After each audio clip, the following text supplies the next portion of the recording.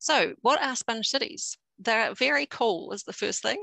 Um, so they work with water rather than against it. So um, they're less about trying to get rid of water. So at the moment, we sort of funnel all our water off in pipes and drains as far as to get it away from us as fast as possible. But sponge cities are more about making space for water, valuing it, trying to purify it and recycle it where possible as well. So it's it's good for droughts, not just for for floods, uh, for avoiding them, I should say. um, the techniques for sponge cities are not new, though the scale of it is, so the size of it, it's a citywide catchment level approach. Um, here in New Zealand, we often use a development um, approach known as water sensitive urban design, which is basically a sponge cities approach at a, a much smaller scale. Um, so sponge cities is about putting that water sensitive urban design sort of process on steroids, making it consistent across all cities and towns, um, rather than just using it in some places some of the time. Um, it, sponge cities, I think, um, when I was researching it, it felt very right um, that it sits alongside Mātauranga Māori, um, which for those not New Zealand means traditional knowledge and wisdom.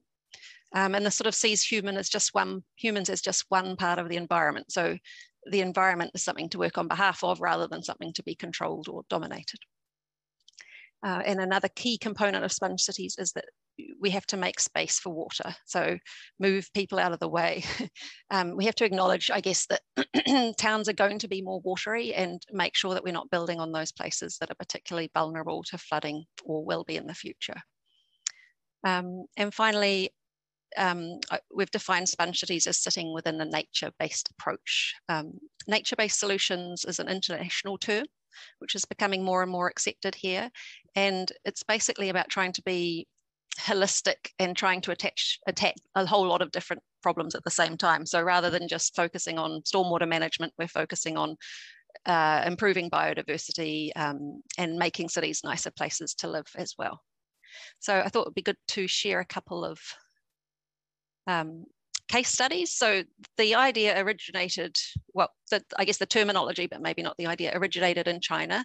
Um, and China has 30 large scale pilot projects um, covering cities across the country. And so they're a good, they have a lot of good case studies that you can look at to see how the sponge cities model is working. So this is, these are some pictures of Haikou City in Hainan Island. And Hainan Island was picked as one of the Chinese sponge cities leading demonstration sites because it was flooding frequently, it was very polluted, uh, there was a lot of habitat loss.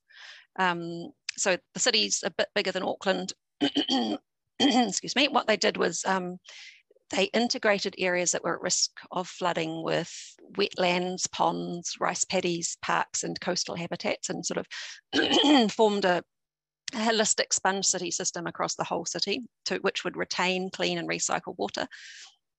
Um, they moved buildings from floodplains um, and they replaced concrete flood walls with um, embankment, embankments made from earth and vegetation. And alongside the river there, you can see in that picture, they, they planted terraced wetlands um, and those the plants that they use um, are ones that can help to recycle the water so that when it reaches the river, it's um, been purified.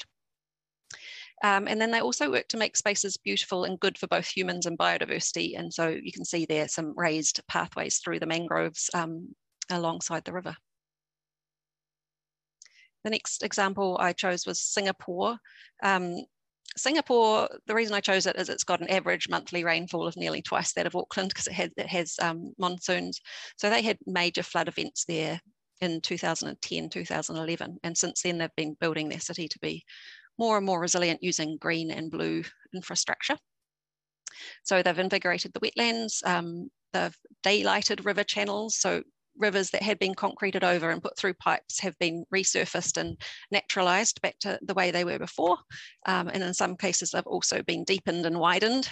Uh, they've planted native, um, native trees alongside rivers to absorb um, and filter stormwater runoff.